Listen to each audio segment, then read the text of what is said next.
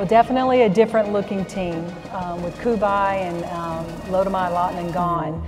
Um, those are players that we inherited. We played to a certain style with them, and now we're trying to change our style a little bit. And so we've got Bianca and Cam in that really are difference makers when it comes to scoring the basketball, able to speed the game up a little bit, along with some of our other players, freshmen that have come in, and, and returners. So I think you'll see uh, just a different style of game. Ho hopefully mm -hmm. it's a mm-hmm. faster paced game, more shots going up, mm -hmm. obviously.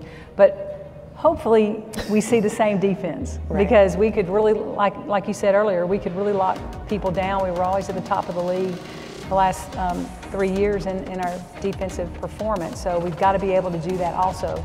But having speed and quickness, having more guards on the floor, more ball handlers on the floor, more passers on the floor when they're not scoring. Mm -hmm. So it, it's, um, it's a different style. It's an exciting style. I think it's something that players can uh, have fun with. It's more fun to play.